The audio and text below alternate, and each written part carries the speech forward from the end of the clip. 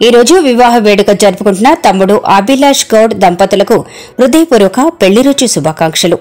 మీరు నిండు నూరేళ్ళు సుఖ సంతోషాలతో ఆయురారోగ్యాలతో విలసిల్లాలని కోరుకుంటూ ఆ వనదుర్గా భవాని అమ్మవారి ఆశీస్సులు మీకు మీ కుటుంబానికి ఉండాలని కోరుకుంటూ మీ ఆరట్ల అబ్రహం మెదక్ జిల్లా టుడే టీవీ ప్రతినిధి.